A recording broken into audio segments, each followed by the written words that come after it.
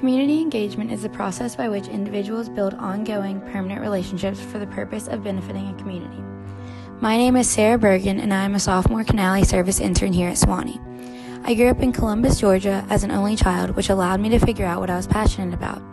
I attended a private school for the entirety of my life, which is a huge part of my story. As a young child, I spent a large portion of my time with my mother and my grandmother, who were both incredible role models for me. They would allow me to tag along while they were volunteering around our community, and through them, I saw what it meant to be a leader and a server alike. In middle school, I continued doing service work just to do it, but in high school, my perspective shifted. I started to resent the way people in my community disregarded how fortunate we were. Conversations felt superficial and focused on materialistic things. I soon became involved in the Service Council, where I started to embody their motto, finding yourself through the service of others.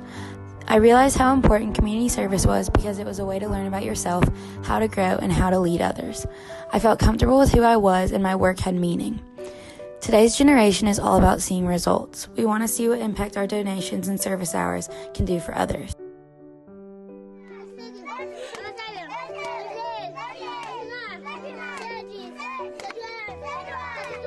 When I came to Sewanee, I wanted my work to have a lasting impact.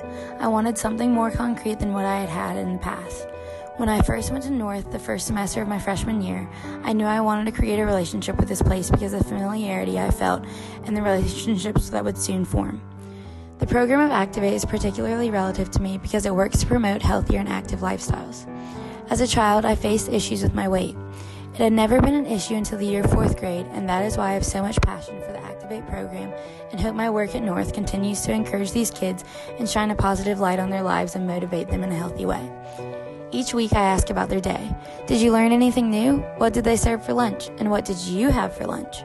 We spend time discussing how important our meals are and what food helps fuel our bodies and which ones slow them down. These simple questions allow them to gain a better understanding of how important health is to our overall happiness. The first time I went on my own, I had no idea what I was supposed to do. After a few weeks, I realized that just being there and showing to these students that I was human too, everything soon became comfortable.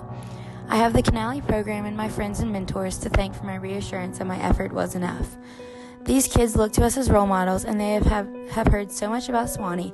I wanted to make sure that everything they had heard had been positive and fun. Each week, when I return, there is something new for me to learn, but each week there's common conversation we get to have as we dance and sing and play basketball.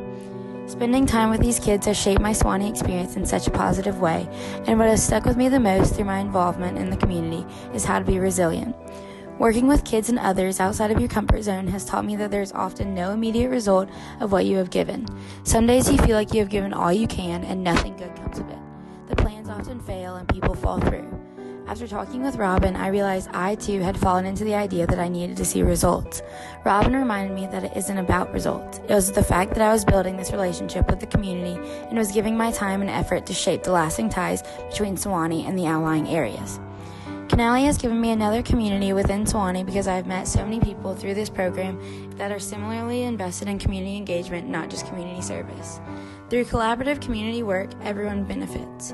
My time as a Canale has taught me leadership, how to address my strengths and weaknesses, and what it means to be a community leader, not just a server.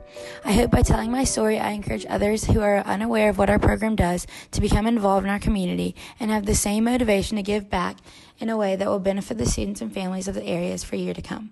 Thank you.